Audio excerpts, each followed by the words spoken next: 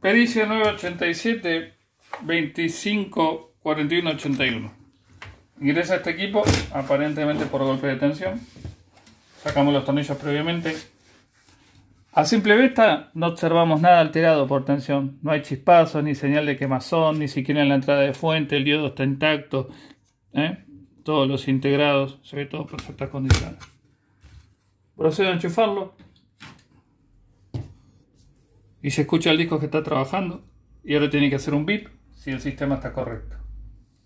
Vemos la imagen, todavía no apareció, pero ahí está cargando el sistema. Ahí tenemos imagen. Lo cual me indica que el sistema está funcionando. Este equipo está funcionando.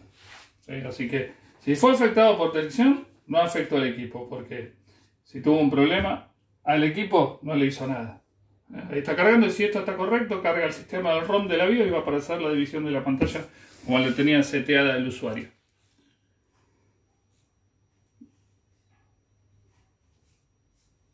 Bueno, importante que levanta. Sí, sí, obviamente falta la conferencia de internet, pero ahí está, ¿ves? Ahí está el VIP de inicio del test del sistema y chequeando todo esto, pero obviamente como no está conectado.